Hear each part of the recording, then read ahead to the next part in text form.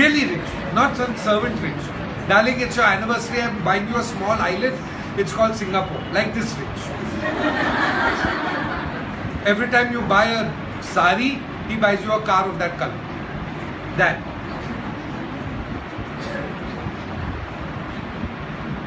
Where do you live? South Bombay. Which part of South Bombay? The whole of South Bombay. Like that.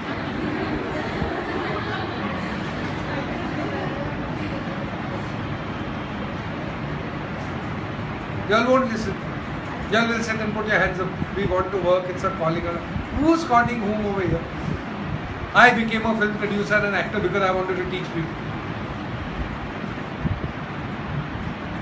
Everyone wants to be rich and famous.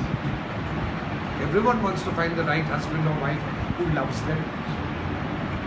Everyone wants to be happy or not? Yes. Really? And y'all are going to be in this profession where y'all are going to be battered by children for 40 years, in the most unhappy next 40 years, and y'all are all going to be happy. Hats off to y'all contradicting yourselves every time I talk. Chalo, but you get the point I'm making. So I guess that's good. Ask. But finally, it's your compassion, your good humor will take you through. Always understand one thing which I learned, maybe not the hard way, the easy way. Finally, at the end of it, I will tell you what has helped me, and Shamak taught me this, and that is the power of prayer. There's no way you can fail if you trust God and you pray to Him every day. This has nothing to do with religion. God doesn't particularly like religion, I'll tell you that. He didn't create it. There's no separate line over there. If you eat beef, that's your line. If you eat pork, that's your line.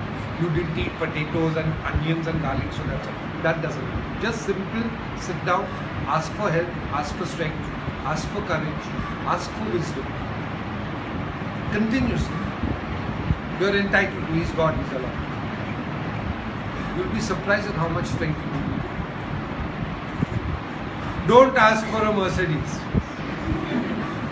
Then he'll say, Oh, yeah. Ask for strength, courage, and wisdom. Ask for help. Ask that you should be given the strength to get what is right and to do what is right. Automatically happen. That is the biggest thing I think I've said today. No more questions. Goodbye. See you. Now we'll have tea. Rough book. If you have heard me speaking these last two hours, by now you will understand what kind of a film Rough Book is. You will understand what kind of humor the film has. You will understand how important. She said you all went and saw Chalk and Duster. That's a commercial film. Sure, it points out certainly. Rough Book is not a film, it's a primer. A lot of parts of Rough Book are actually being taught by teachers after they've seen the film. Rough Book will release on the 24th in Bombay at select Cinepolis cinemas. Andheri, Chembur, I think Cinepolis is next door to you. So I will coordinate with Francis and make sure that not just you all but everyone, including the teachers, is able to go and see Rough Book. And I'm very happy to tell you that after your whole school has seen Rough Book, at some point I would be very happy to come back again and meet other students from other classes and other streams and have question answer sessions with them about the film and talk to them generally as well. And uh, mandatorily, thank you very much for jailoing me. Sometimes I'm funny. Some of us are talkers. I can talk till dawn. I can tell you all stories you all have never heard. But remember, pray to God and hope you get a rich husband. That's the final bottom line.